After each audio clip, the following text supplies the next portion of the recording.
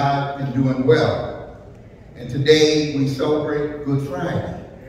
And it's important to know why we celebrate Good Friday. And for believers, Good Friday is a crucial day of the year because it celebrates uh, what we believe to be the most momentous weekend in the history of the world.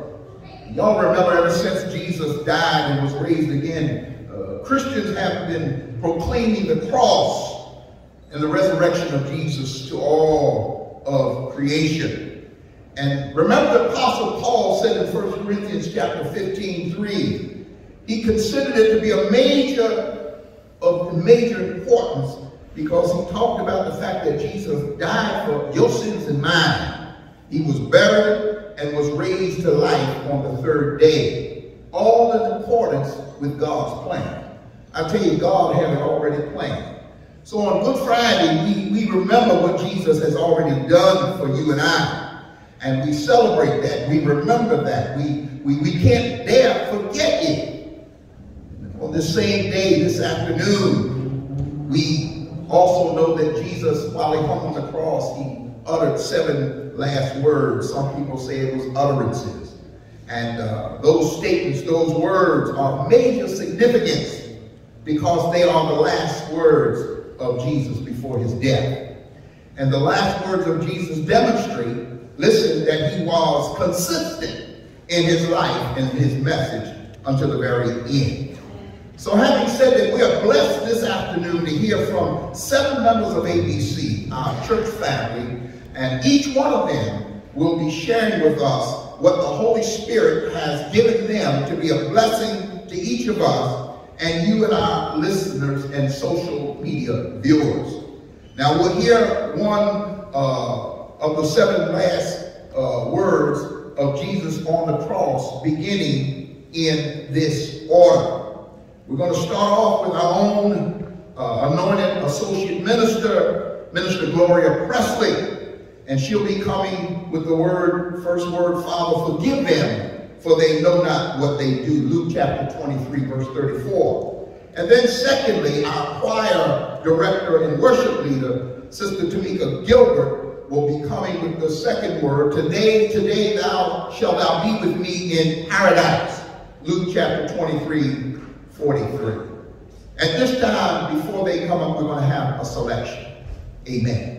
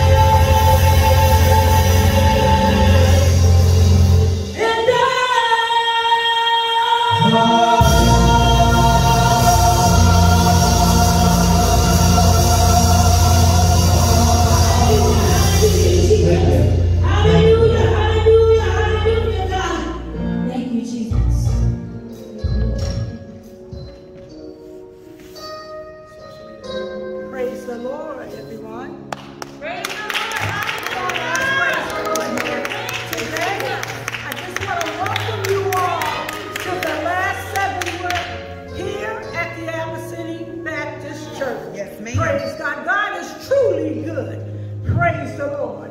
We truly give honor to the Lord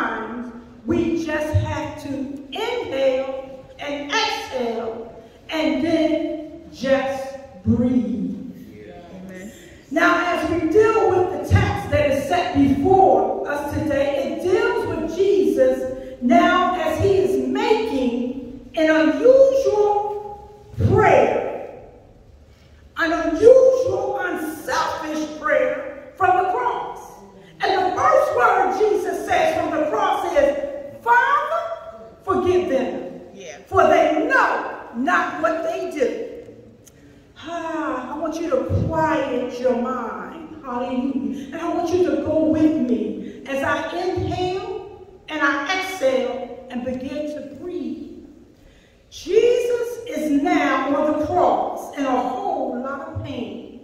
Nails in his hands.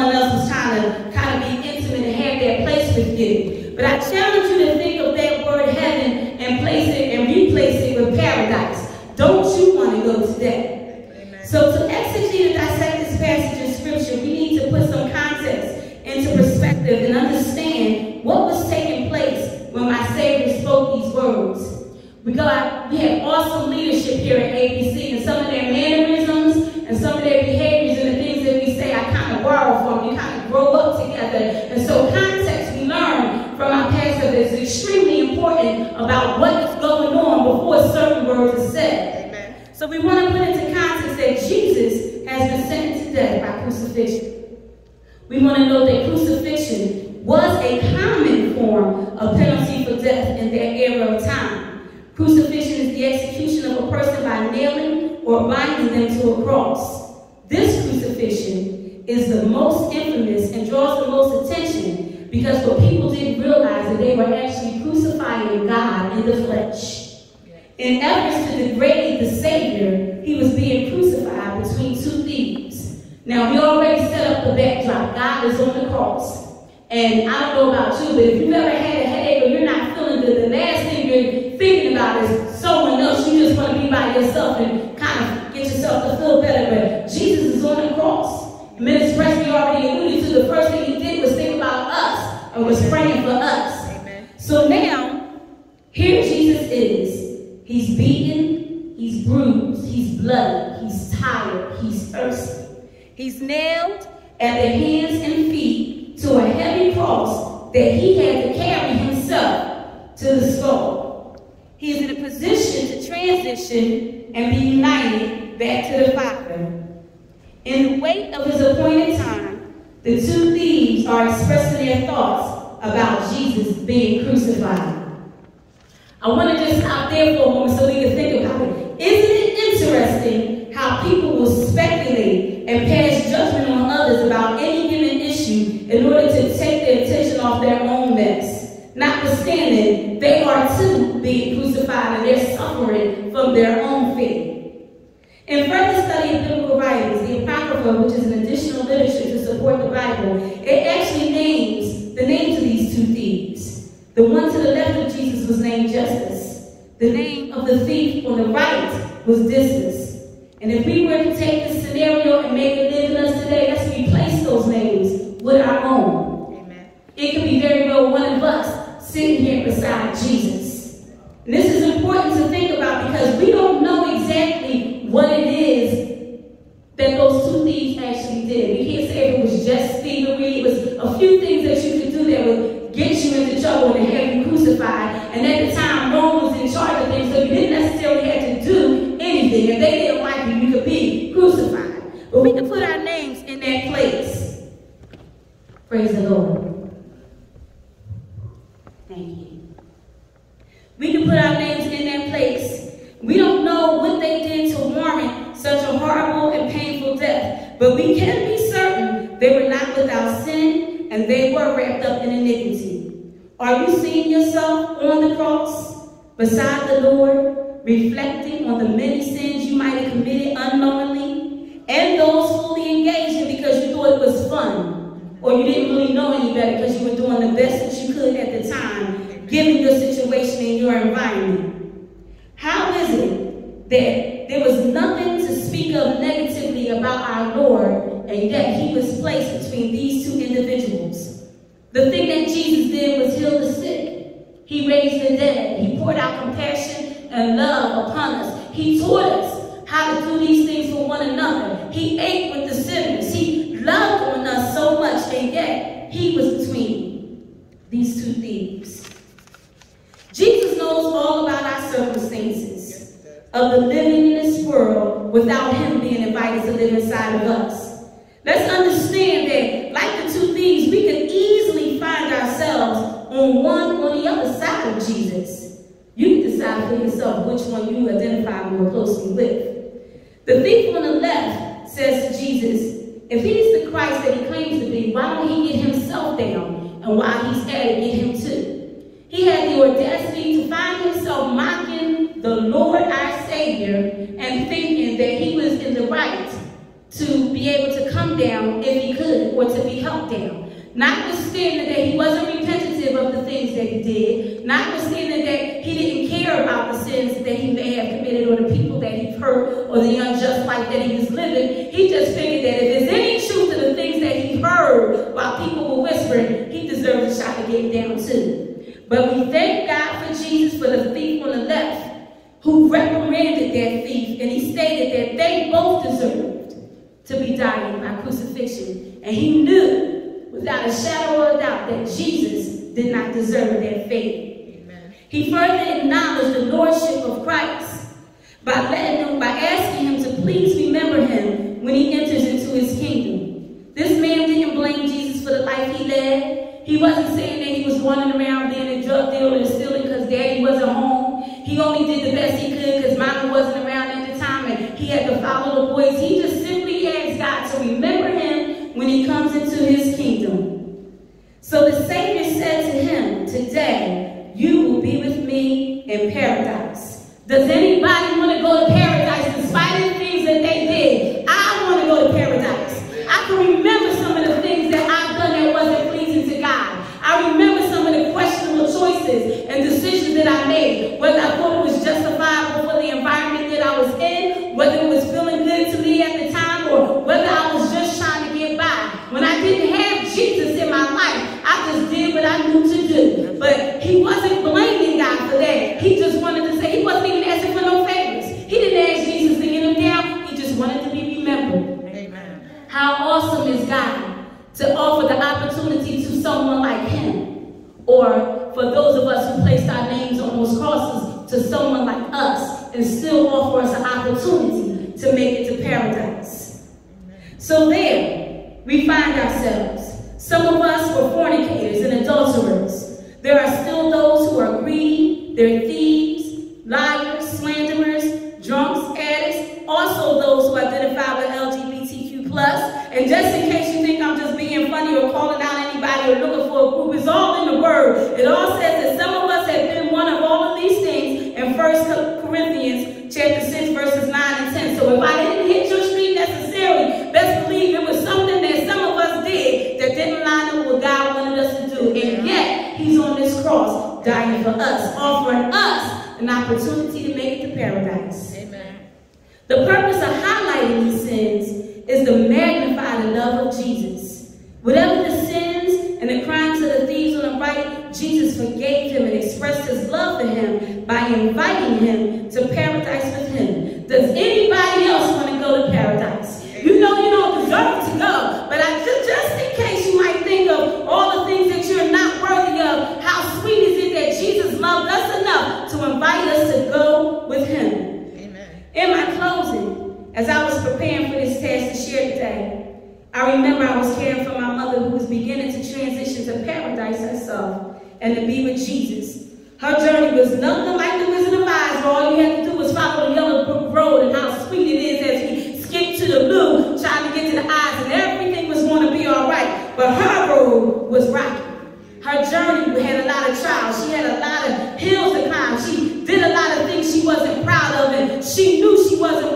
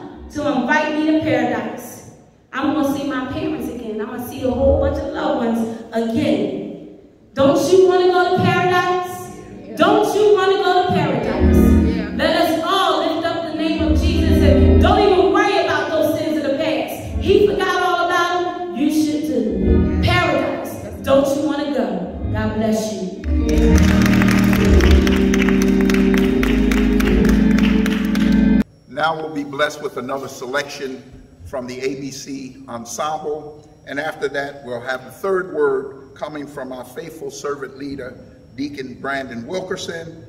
And then he'll be followed with the fourth word from his lovely anointed wife, Deaconess Errika Wilkerson. God bless you.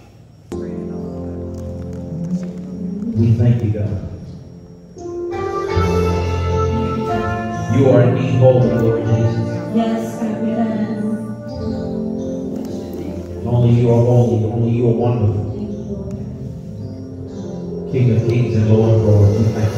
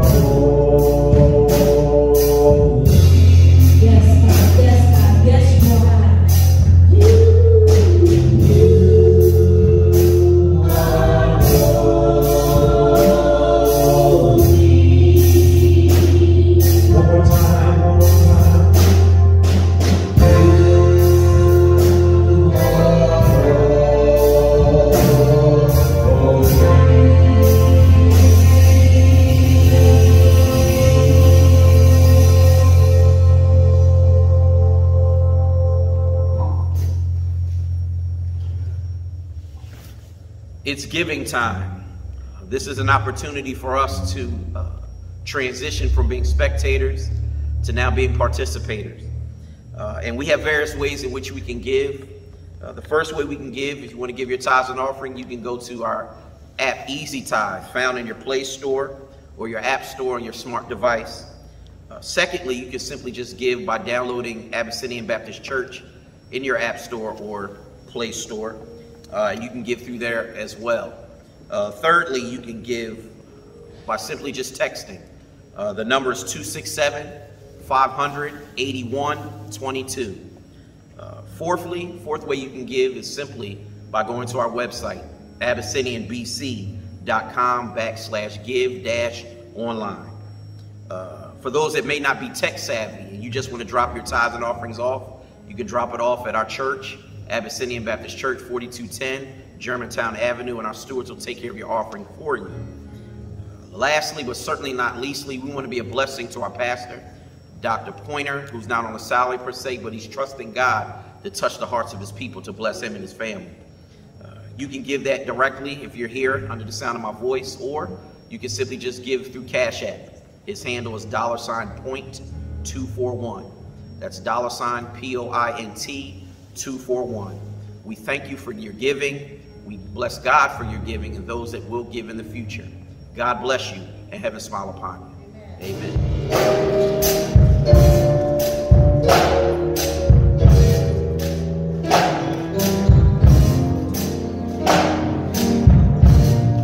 Good afternoon,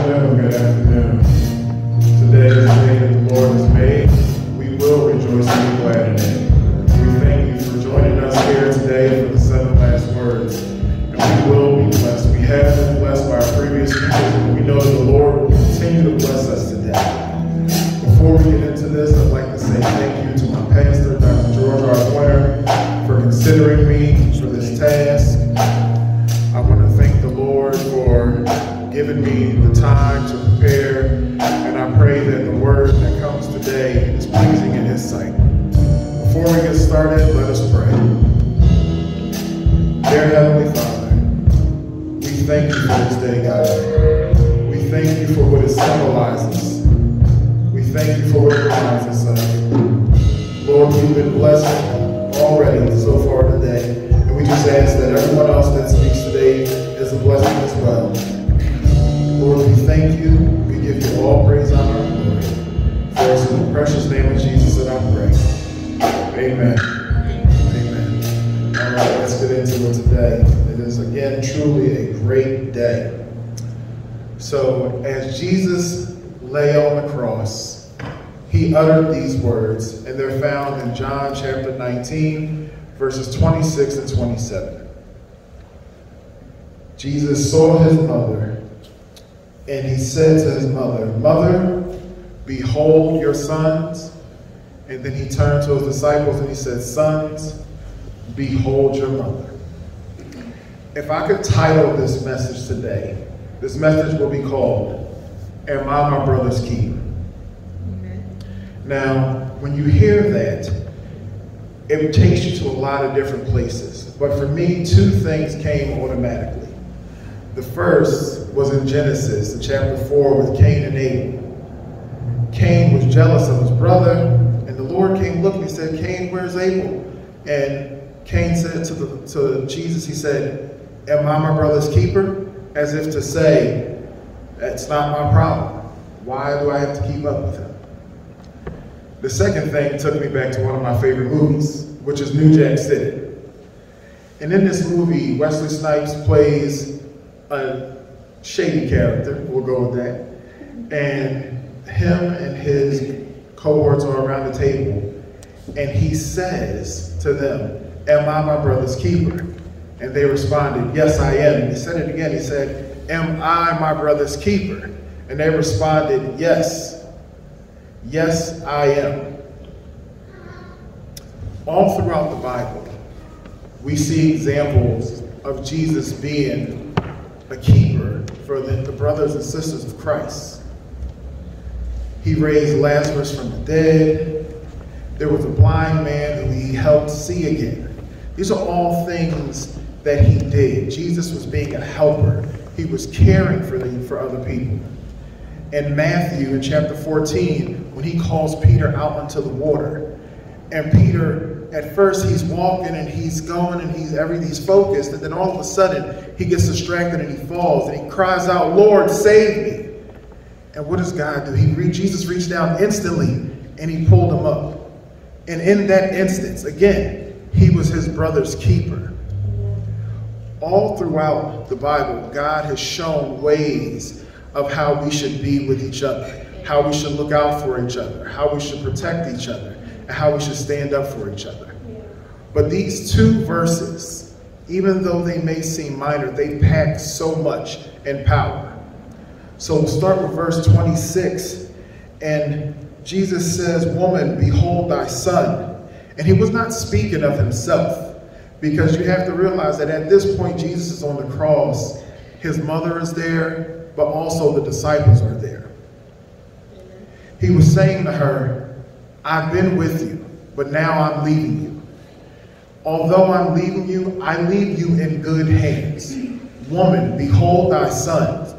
And the son that he was talking about were the disciples who were right there at the time of his crucifixion. It was for Mary to know, although I may not be here in, the, in flesh, I'll be here in spirit, but my disciples, my disciples will look after you. My disciples will protect you. My disciples will care for you just as I have all this time. And the second half of that in verse 27, he tells the disciples, Behold thy mother. And what he's saying to them is the title of this message Am I my brother's keeper? He's saying to them, I'm leaving now. But throughout this time that I've been here, I've been here for you. Even when I've asked you to pray with me and you fell asleep, I've been here with you. When we were on the ship and you were afraid because the waves were throwing the ship left and right and you were scared, you came to me and I've been here for you. Right now, I'm asking you to be here for me.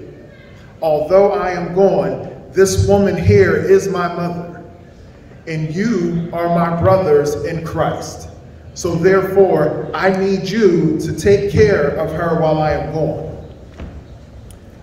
What Jesus was doing at this time is he was perfecting and reiterating the golden rule of life, which is found in Matthew chapter 7, verse 12. And it reads, Do to others whatever you would like them to do unto you. So what Jesus is telling us is, don't be quick to judge others because you don't want me to be quick to judge you. Don't not forgive someone for something they do because you want me to forgive you for everything that you've done. You want me to be with you, be with other people. And one thing that comes to mind with this is when people are grieving, how you're there that day, but the grieving process takes a while. And the thing about Jesus is he never leaves our side. And I want to be able to have that the next time that I have to grieve. I know that Jesus is by my side, and I want someone else to be by my side so that when the time comes, I can be by their side. The Lord has never left us He's kept us safe. He's been with us at all times. So when he, again, when he says to them, sons, behold your mother, he's saying, please, please take care of this individual. She's precious and she's my mother, but she is also your mother as well. So you have to take care of her once I leave. The one thing we have to realize is that when it's all said and done, the only thing that we have is Jesus. And we do have our family and we have our church family who are our brothers and sisters in Christ. So we have to stand by them. We need to encourage them. We need to pick them up. Even if they don't know what to do, we need to be the ones to give them that spiritual guidance. We need to be there for them in the time of need and in a time of grief. That's our job because that's what Christ did for us. The one thing that I hope for is that when I get to heaven and God looks at me and he asks me a question. He says to me, Brandon, were you your brother's keeper? I can with confidence and without a shadow of a doubt look at my Lord and Savior and say, Yes, yes, my Lord, I was. And then he can respond to me, Well done, my good and faithful servant. Amen.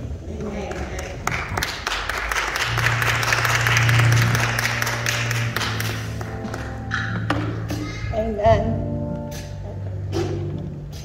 God is good. All the time. All the time. God is good. Okay. Amen. With God. Okay. Praise the Lord. Praise the Lord. Praise the Lord. Good afternoon, saints. I have the privilege today to share with you the fourth word. The fourth word of Jesus from the cross can be translated in the Greek to say, Eli, Eli, lama sabachthani.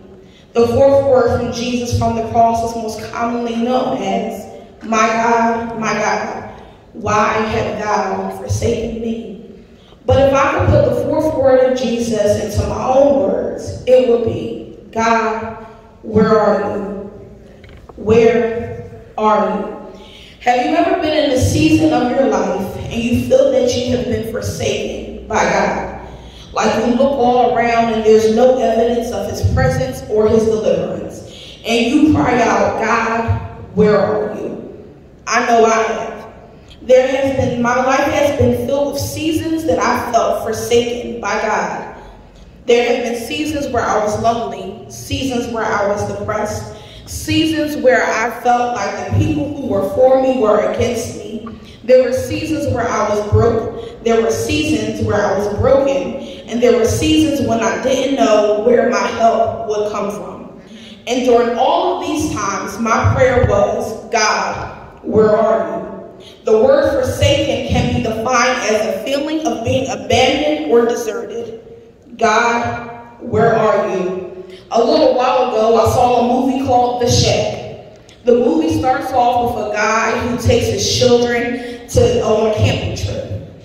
The guy's daughter gets abducted and murdered. Following the daughter's death, the family goes through a series of ups and downs.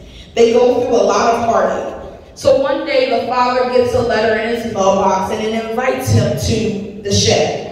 The father is first skeptical because he doesn't know if it's a trap by his daughter's murderer or if it's just an accident.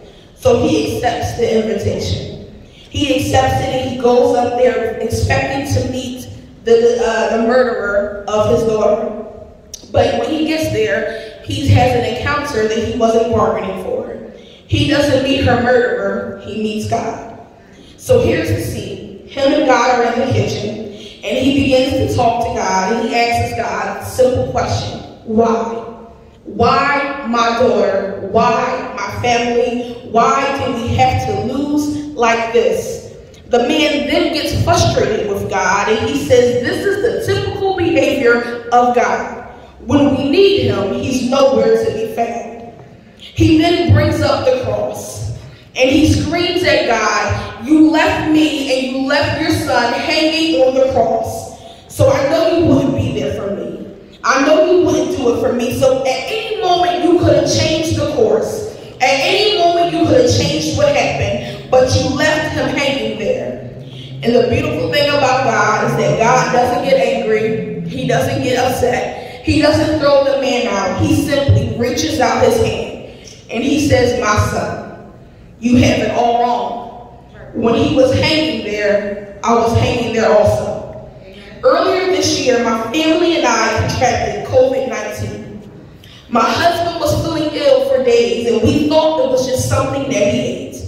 As the days went on, his symptoms didn't get better. He didn't look any better. And one Sunday, I got up and I went to work, and then I get the call. Babe, I'm going to the hospital. And I said, well, what's going on? Are you fine when you dropped me off? You, you seem okay. I, I thought we were, I thought you were going to get better. He said, I, I'm not feeling so well. I have a rash on my body. I need to go. So he goes to the hospital. I go home to tend to our children. And then hours later, he calls and says, babe, they think it's COVID. I look at my phone with disbelief. Then I look at my children and I instantly cry out, God, where are you? He came home and he began his quarantine period, and it was the hardest days of our life. Hearing my children cry for him, seeing my toddler run up the steps, banging on the door, and begging for him to answer, and all we could do is stand there and say, God, where are you? Then days later, discovering that not only did my husband have it, but I had it, my sister had it, and my mother had it too.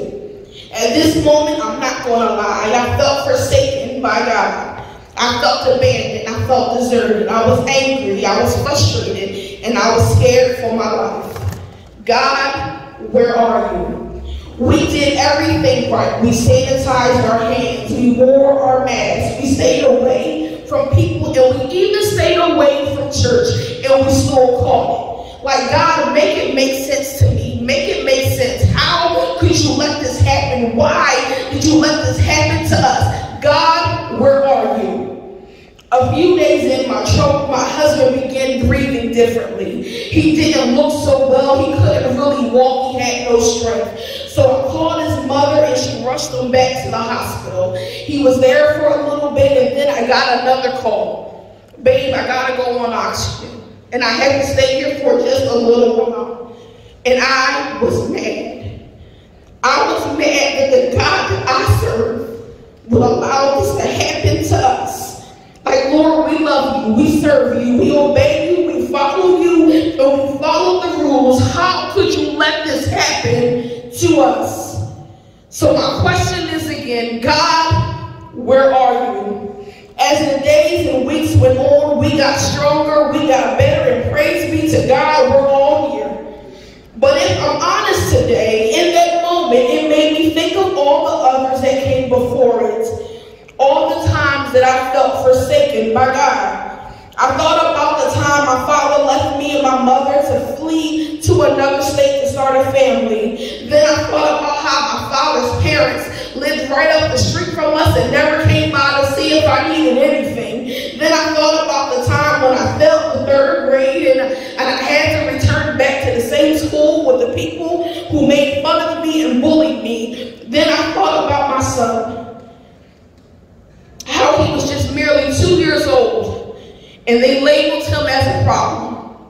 They said that he had multiple behavioral issues and that he was beyond help. All of these moments, all of these seasons left me with the same question, God, where are you? Then a few weeks ago, Pastor I would like for you to participate in the seven last word service. When he told me my word, I knew why. I knew why because I could relate to that cry of Jesus. My God, my God, why have thou forsaken me? Or in my words, God, where are you? So I began to plan and pray, and God gave me two points. Number one, it's not in God's character to forsake his people. Psalms 94 and 14 says, For the Lord will not reject his people. He will never forsake his inheritance. He will never forsake his people. So after I read Psalms 94 and 14, I looked back on those painful moments and I said, but wait a minute, God, you did forsake me. When I was in trouble and I was in pain, you weren't there. You did abandon me. You did forsake me. And his response was, look again. So I did. I looked again and I began to see how I have never been forsaken by God. Though my father left me, God provided me with a mother who was strong enough to do both. When my grandparents didn't love me, he gave me a maternal grandmother that spoiled me rotten. When I failed the third grade, he gave me teachers like Mrs. Baum, who would not only be my teacher, but my counselor. And then when my son was diagnosed with all of those behavioral disorders, my baby was going in and out of doctor's offices, seeing different psychiatrists. My God aligned me with the right people and told me how to fight and pray. So you see, I've never been forsaken by God. I may have been in trouble, but I was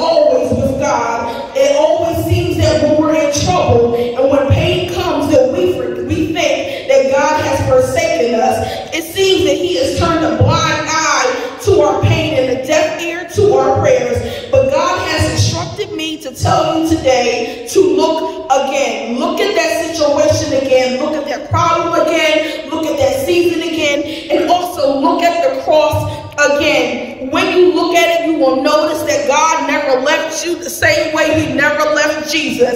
He never left you. When you look again, you will notice that He was always by your side. When you look again, you will notice that you were never abandoned. When you look again, you will understand that He always had your best interest at heart. When you look again, you will see that His hand wasn't everything. When you look again, you will see your God has never forsaken you.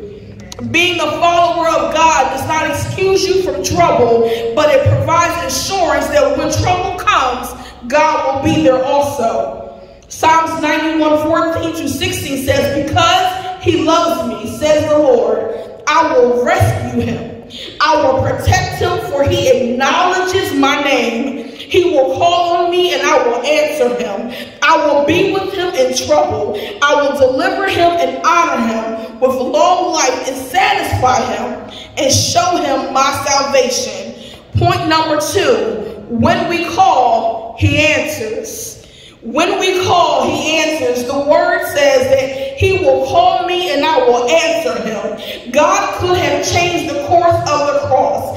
God could have changed the outcome for Jesus. God could have changed the story for us. But sometimes he allows trouble so that when we call, he can answer. And today I stopped by to tell you that where you are or whatever you're in, you're not alone. You're with God. You're with God. So when you cry out, Eli, Eli, lama sabachthani, or when you cry out, my God, my God, why have you forsaken me? Or when you keep it all the way real and say, yo, God, where are you? God will boldly respond, Here I am.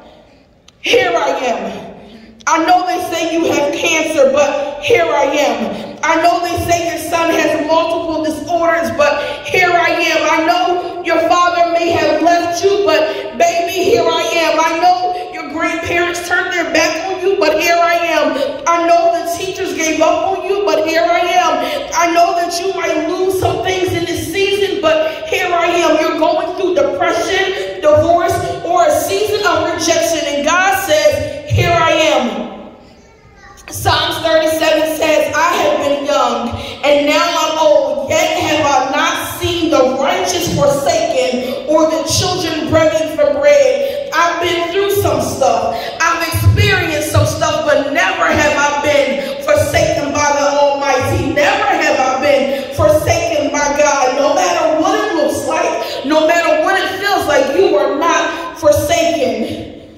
I truly believe that when Jesus hung there on the cross and he was crying out to God because he wasn't being weak and he wasn't giving up, he wasn't forgetting, forgot, he didn't forget who his father was. It was because he was reminding God to make good on his promise. He was reminding God that when you recall, you answer. You promise that in trouble you will be there. So the Lord you won't forget me. So here I am. And God is saying, I need you to look at the cross again. You thought that he was giving up, but really he was just giving me back my word. He wasn't weak. He wasn't throwing in the towel. He was simply telling God, you promised, and I'm cashing in on what you said. God is not a man that he can lie. And if he says that he will never leave you nor forsake you, we must believe him at his word. Today, saints, I need you to get it in your spirit that I don't know what it looks like in your life. I don't know what you're up against, and I don't know what you're battling, and I don't know what you're dealing with, but God does. And I need you to look again at that situation. And you may feel like you're all alone, and you may feel like that no one's by your side. And God says, Look again.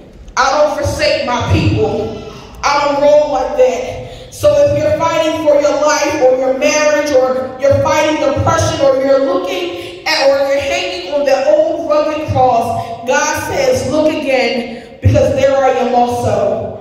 Today we must look at this differently. We must begin to stand on the very promises of God and believe whatever he says that he will do, that he will do it. You are not in this alone. God is right there. So when you cry out, Eli, Eli, Lama sabachthani, or when you cry out, my God, my God, why have you forsaken me? Or when you say, God, where are you? God will boldly respond, daughter, son, here I am. Amen. What a time, what a time, what a time we've been having. At this time, we're going to have another selection from the ABC Ensemble. Following the selection, we're going to hear a fifth word from our own uh, wellness director, Brother Jonas Floyd. Following him, we'll have a sixth word representing the ABC Women's Ministry from my daughter-in-law, Sister Danielle Pointer. And then the seventh and final word will be coming from the Holy uh, Spirit anointed and dynamic gospel preacher, my son, Reverend Richard Pointer. To God be the glory.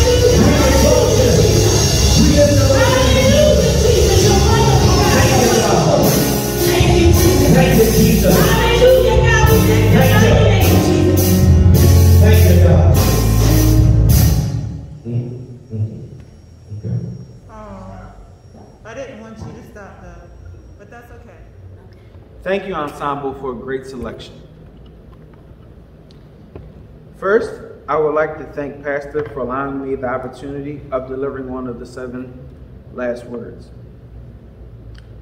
The one that was assigned to me was I Thirst, which is the fifth of the series of the seven last words. And the address for I Thirst comes from John 19 28. I would like to first start out with my title Who's Thirsty? Who's Thirsty?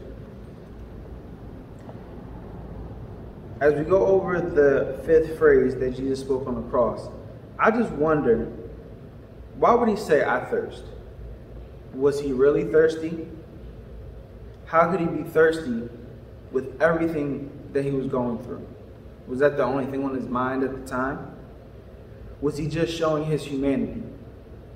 I would like to point out three things in this moment that Jesus displayed while experiencing his last time as a human.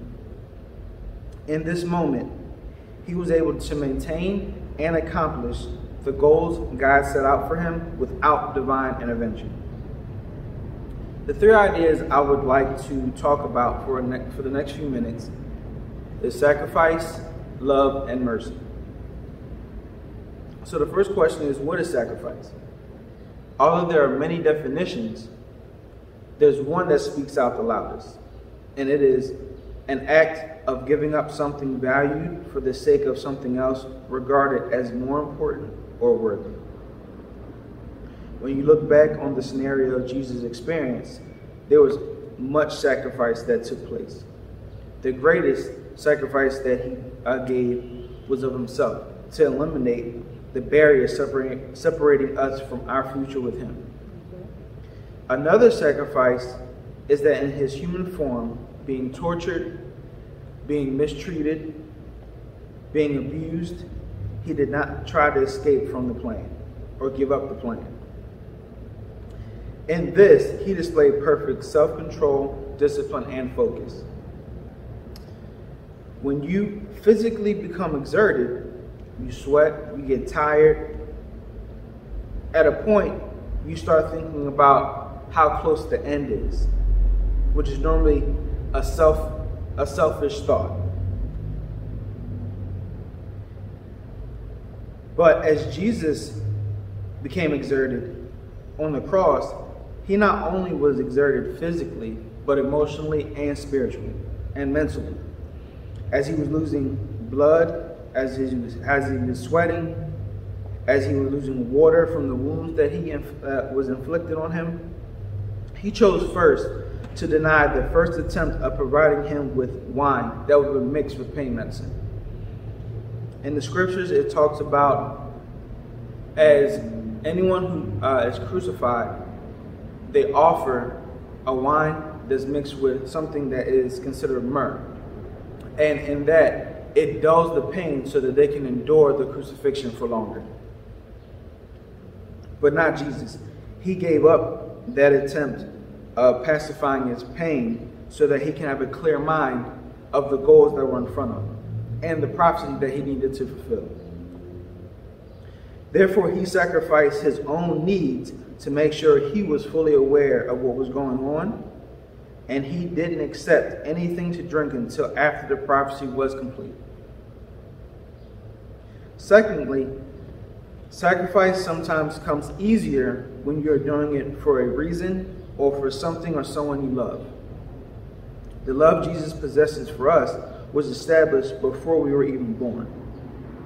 As 1 Corinthians says about talks about love, it says from 1 Corinthians 13, 4 and 5, love is patient, love is kind. It does not envy, it does not boast, it is not proud, it does not dishonor others, it is not self-seeking, it is not easily angered, it keeps no records of wrongs. And God, who is love, 1 John 4 8, thought enough of us that he planned to give up himself just to bring a connection back that we broke. In his word, he speaks of how much he loves us, that he sacrifices his only son. John 3:16.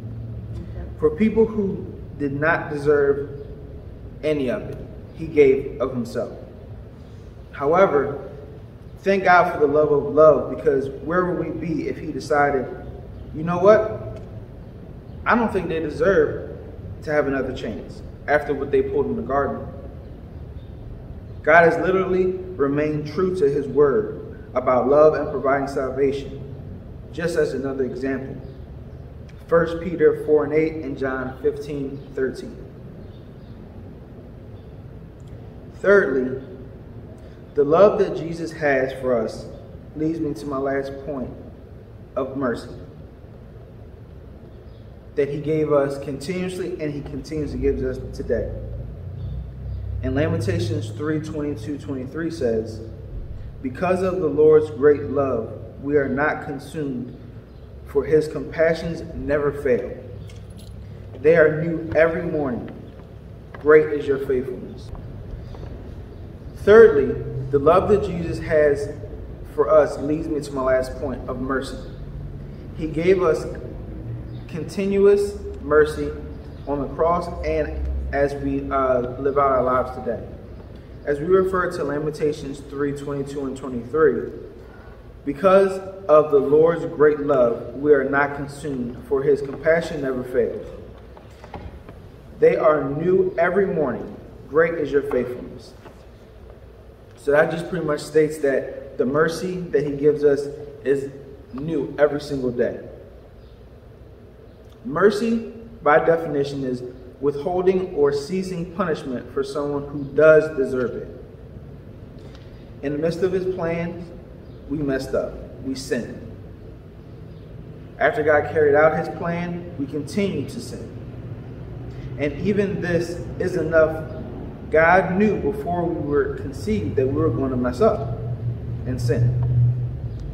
So why would God sacrifice and invest time in people who he knew needed so much mercy? Why would God display this type of mercy to those who continuously hurt him and disobey his instructions? Well, it is stated in Romans 8 38 and 39 that because of his love for us, there's nothing that will keep us from him. So as we think about God's love, sacrifice, and mercy, we still ask the question, what does that have to do with thirst? Thirst is just a physical feeling that your body goes through. And I would say, yes, you're right. But what if God was not just thirsty in his physical form? But what if God wanted to quench his thirst of reconnecting us together with Him? What if God's thirst was so great that He couldn't go without a future with us because He loved us so much? We already know, according to John 14 and 6, that Jesus is the only way to get to heaven and there is no other positive alternatives. I believe Jesus was thirsty. I believe his thirst started back in the garden when we slipped up and sinned and sin entered into the world. I believe Jesus was thirsty when he waited for the right time to enter into this place where he would not be accepted. I believe that Jesus was thirsty and remains thirsty until the plan was completed or accomplished. Ultimately, I'm glad Jesus was thirsty for us because I would hate to think of what life in the future would be like if he wasn't. Um, how can I start this? I want to first uh, say thank you to Pastor for even considering me because he definitely texted me and I didn't respond. And he took my no response as a yes. So I just want to, I want to thank him for the opportunity and, and trusting me to bring forth the sixth word, which is, it is finished. And this word comes from John 19, verse 30. It's in John 19 30 says, When Jesus had tasted it, he said, It is finished. Then he bowed his head and he gave up his spirit. If I could title this message, I would like to title it Jesus Paid It All. Jesus saying it is finished is a unique statement, and what makes this so unique is that it's a cry of victory. It is finished is a triumphant cry that what I came to do has been done. All is accomplished, all is completed, and all is fulfilled. Jesus makes this victorious statement from a position of pain and agony while hanging on the cross. From the outside, he looked like he was defeated, and it looked like the enemy had won. But I'm so glad that God has the final say. Amen. Have you ever been in a place that it appeared like you weren't going to make it, and it seemed like everything was stacked against you? But God stepped in and showed you that he was in control. A lot of times, many of us probably say that I am finished. But when you get to that moment and in that instant, don't say I am finished, but change that I am to it is because Jesus took care of it for us. Amen. Jesus wants us to not focus on our circumstances, but focus on the purpose he has given us. Jesus' goal while he was here on earth was to finish the work that God gave him to do. Tetelestai is a common word that was used in the Roman culture, meaning it is finished. A servant would use tel tetelestai, meaning that a task was completed. A judge would use that word as justice has been served. An accountant would use it as the debt has been paid in full.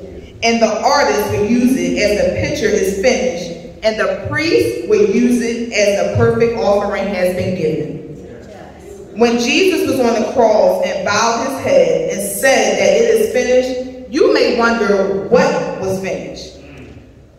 Well, here are three things that were finished. He fulfilled the promises, he satisfied God's justice, and he paid off the debt that was owed to God. Let me repeat those three things for you one more time. He fulfilled the promises, he satisfied God's justice, and he paid off the debt that was owed to God. Point number one, the promise that Jesus fulfilled was that he died on the cross for our sins and stayed on that cross until every sin was paid for. He died on the cross so that people of God would be saved, that the justice of God would be satisfied, and that the love of God would be revealed. Point number two, Daniel R. Hyde states that God's justice requires that each and every one of our sins we have committed against him be, be punished with temporal and eternal punishments of soul and body. Jesus took the eternal punishment for us when he was on the cross. How did he take our punishment? Well, when they pierced him on his side, that was our punishment. When they put nails in his hands, that was for our punishment. And when they put a crown of thorns on his head, that was for our punishment. I know that most of us can't even bear the pain of a paper cut. But to endure what Jesus did, we wouldn't have lasted one minute. According to Isaiah 53, 11, when he sees all that is accomplished by his anguish, he will be satisfied. And because of his experience, my righteous servant will make it possible for many to count him righteous, for he will bear all their sins. And point number three, Jesus paid off the debt owed to God. God made each and every one of us to love, honor, and obey him in thought, word, and deed. When we fail to do that, we accrue a debt to God. Jesus is our go-to person that stands between us and God and goes to God on our behalf to come up with a re resolution that God will find acceptable.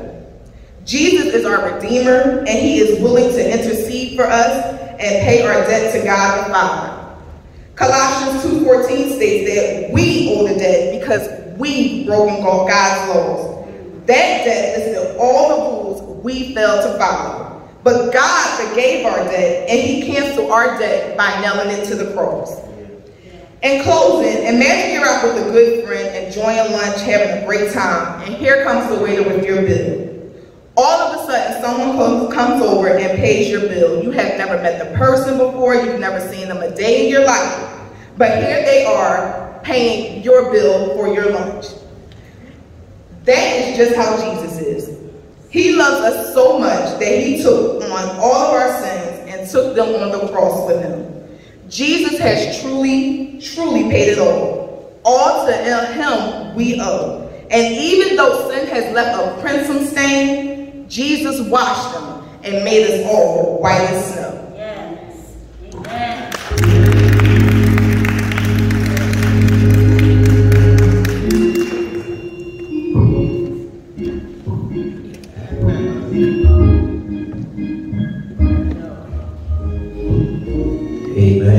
Amen. Amen. Great word. Amen. Amen. Amen. All the words, uh, all the words that uh, everyone has spoken, God has truly used them. Amen. For His glory and His honor. Amen. Amen. I have the task of closing, uh, doing our seventh word. And if you can meet me at the book of Luke, chapter 23, starting in verse 44 through 46. And it reads, It was now about noon, and darkness came over the whole land until three in the afternoon. For the sun stopped shining, and the curtain of the temple was torn in two. Jesus called out with a loud voice, Father, into your hands I commit my spirit. When he had said this, he breathed his last breath. May the Lord add a blessing to the reading and hearing of his word. If I could tag this text uh, today, I would simply call it, uh, I put it all in his hands. Amen. In Luke's record of the crucifixion, we see a perspective of God's divine wrath and God's divine love. In verse 44, we see the darkness. We see the darkness came over the whole land at noon until 3 p.m. Darkness means judgment. It means God's judgment. We find throughout the Old Testament, remember uh, the plague of darkness in Egypt. Uh, it certainly was God's judgment upon Pharaoh and the Egyptians in Exodus chapter 10. Uh, can you imagine the, the SUN was given charge at this moment to not do its job to shine from 12 to 3 while the SON was taking on the sins of the world? So not only do we see the darkness, but secondly, we see the drape or the veil was torn. Verse 45 says, We see the veil was torn. Uh, and the veil in the temple uh, separated the inner sanctuary from the Holy of Holies. And it was torn from top to bottom. It was torn in such a way that nobody can get credit for tearing the veil except by God Himself. The temple veil was torn so that now we have access to God. Amen. But not only do we see the darkness, not only do we see uh, the drape or the veil, but we move, let's move into the death. Before Jesus' death, he allows himself to say these final words. Can you imagine him hanging there for six hours? He's in excruciating pain, he's lost much blood, but yet he still remains in control. And he says, Father, into thy hands I commit my spirit. Uh, the first thing we see here is that his spirit was given into his father's hands and not taken from him. Amen. That's very significant because if you take something from a person, that means that you have overpowered or forced them to give up something without them wanting to, without their consent. But if I give you something, that means that I have power and authority to relinquish whatever I'm holding on to, mm-hmm. but also have power and authority to take it back when I'm ready. Amen. You remember when Jesus was brought forth before Pilate, and Jesus was silent, and Pilate said, Don't you realize that I have power to take your life? And Jesus turned to him and said, Excuse me, with all due respect, no man takes my life. Yeah. I have power to lay it down, and I have power to pick it back up again. Yes. Jesus was in full control, even unto his very last breath. Beloved, that should encourage us to remind us that a sovereign God, in spite of all that we're going through, is in control, even to our very last breath. Yeah. Yeah. Notice that Jesus starts off uh, his seven sayings by saying, Father, forgive them, for they know not what they do, showing the connection or intimacy between him and his Father. And it's somewhere in the middle of the crucifixion. The connection is lost. And he turns from Father, Father to now saying, My God, my God, why hast thou forsaken me? But I'm so glad that things that have been disconnected before can now be reconnected. Amen. And after Jesus says, it is finished, we see the relationship between him and his Father have been reconnected. And he says, Father, into my hands, thy hands, I commit my spirit. And that word commit in the Greek is paratheme, which means para, which means beside, and thema, which means to place. It means literally to place beside. Jesus uses the middle voice here, which is interesting because in secular Greek, paratheme in the middle voice was a term given for something to something to someone in trust for safekeeping. God the Son entrusted himself to God the Father's hands. In other words, Jesus is saying, no better hands I'd rather be in than the hands and the arms of my Father. Amen. Because when I was in other people's hands, I, when I was in Pilate's hands, when I was in the hands of the Sanhedrin, they, they beat me. They, they, they, they put nails on my head. They, they put uh, uh, uh thing, nails in my head. They put nails in my arms and my feet. Uh, uh they touched me to an old rugged cross. So I'd rather be in your hands, Jesus. I'm tired of being in the hands of the wrong people. People who use and abuse me. And the problem is, is that many of us, when problems come, we run to the wrong hands.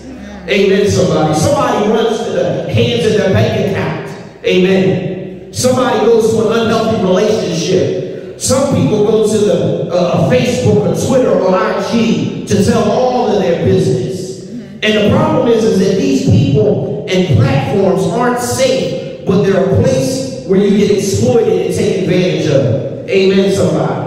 And Jesus is saying that Allstate insurance won't keep you safe. But the hands of my Father is the only place where you'll get blessed assurance. Amen. somebody. Amen.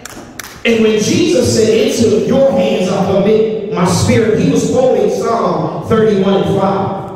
Every Jew around the cross would recognize these words because they prayed these regularly. This was their nighttime prayer. It's sort of similar how we were raised. Remember the prayer, now I lay me down to sleep. I pray my Lord the soul to keep it. If I should die before I wake, I pray the Lord my soul to take. That was what they were familiar with. Amen. So into thy hands I commit my spirit. But Jesus makes some changes to this prayer. And the first change is he adds Father back to this prayer to show that the brokenness of the past few hours have now ended. He's no longer forsaken and the long, no longer he's in darkness. No longer the curse and the wrath of God, and the punishment is over. The suffering is finished. Sweet communion with his Father once again. But secondly, he also leaves off this prayer, Redeem me, O Lord, the God of truth. Why? Because Jesus is the Redeemer. He doesn't need to be redeemed. Because don't forget, both heaven and earth proclaim his perfection, his holiness, his sinlessness. Jesus is absolutely righteous in all his ways. In everything Jesus did and said, he fulfilled the will and the word of God. Even with death in sight, Jesus still was sensible of his purpose. The lesson here is that no matter what we're facing, no matter the degree, meaning how hot of a situation that we're in, and many of us are going to find ourselves, if we aren't in one now, in some hot situations, amen no matter how much the degree of the situation you're in, no matter how much the depth or how deep you're in a problem, amen, somebody, or the level of discomfort that we may rely on, uh, we at the end of the day may rely on God's word to get us through. Amen, somebody. No matter the degree, no matter the depth, or matter, no matter the discomfort level, we can always depend on God to see us through. Amen. And things change when you put things in God's hands. Uh, when Satan thought that you would be defeated, in God's hands it turned into your deliverance. Somebody knows what I'm talking about. Uh, uh, what Satan meant for your shame, in God's hands it turned into a success. Yeah, yeah. What Satan thought would have you down and and in God's hands, and guess what? It picks you back up. Uh, what Satan thought would be your midnight, in God's hands it turned in the morning. Weeping may endure for a night, but joy will come indeed in the morning. What Satan thought would have you limping and staggering, in God's hands will have you leaping and shouting. Uh, what God, what Satan thought would be a stumbling block, in God's hand turned into a stepping stone. Uh, when Satan thought that you would be the victim, in God's hands you are now the victor. Uh, all I'm here to tell you is that everything that you put in God's hands will be a success. I'm no longer going to put it in anybody else's hands. I put it all in his hands. And the song says, all in his hands. I put it all in his hands. All of my burdens, problems. If I have a question, I put it all. Yes, I put it all. I put it all in his hands. Whatever the problem, I put it all in his hands. I know he can solve it. I put it all in his hands. It says this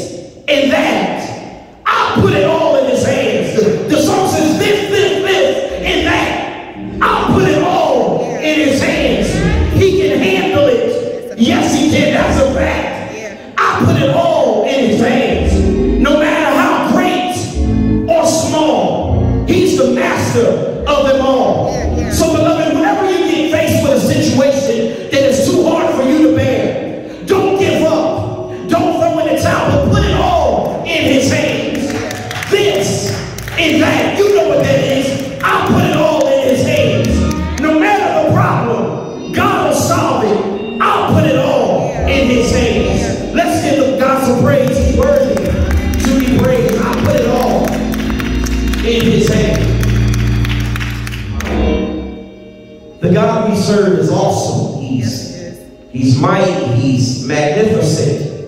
There's nobody like our God. And his hands are strong enough and big enough to be able to hold whatever problems that we may have. But guess what? The first problem that we need to all have to come to a, a decision is who am I going to put my soul with? Who am I going to trust my spirit with? My soul. I suggest that Jesus Christ is the perfect example. John 3.16 says, For God so loved the world that he gave his only one of a kind son, that whosoever believeth in him shall not perish, but have everlasting life. Heaven is a prepared place for prepared people. You can't just get to heaven based off of somebody else's merit. You have to make a decision, accept Jesus Christ as your personal Savior. Would you come? This is an opportunity while you're watching on YouTube, on Facebook. God wants to, you can get saved right through your phone right now in the name of Jesus. All you have to do is say, Dear Lord, I know that I am a sinner and I cannot save myself. I accept your Son, Lord Jesus, my personal Savior. Come into my life, Lord God, and save me. It's that simple. But maybe you already have a relationship with Jesus Christ. But secondly, you don't have a church home. The doors of ABC are open to you. God has entrusted and given us a pastor, Dr. George R. Pointer, that preaches the word in season and out of season. You will be grown, you will be uh, given uh, spiritual food and nourishment to help you grow in Christ. Our doors at ABC are open. Will you come? Maybe you have a church home. Maybe you're saved. But thirdly, lastly, you're a backslider. You need to be prayed for. You want to be restored to the God of your salvation. Those that are watching live right now, you can simply text I need prayer. And guess what? There's people on this phone right now that will pray for you right now in the name of Jesus. Lord, restore right now in the name of Jesus. Lord, we thank you. We praise you. We acknowledge your peace, your presence, and your lordship. Thank you, God, for this service, God. Thank you for your word that went forth. Lord God, we ask that you allow us to be better uh, going out than we were coming in. Lord God, we say yes to your will, yes to your word, and yes to your way. For it is in Jesus' name that we pray with thanksgiving. Let all God's people say amen. Amen. Amen. Amen. Amen. I hope you were blessed. I know you were. It was a great word that went forth by everybody. We thank you, each and every participant, for allowing the Lord to use you in your own unique way. We know that uh, God's word will not return void, but will accomplish what it's set out to do. We thank you for joining us, and hopefully we'll see you on Sunday for Easter Sunday. Amen. Amen. Or Resurrection Sunday, because he got up, and because he got up, we can get up as well. God bless you, and heaven smile upon you. Amen.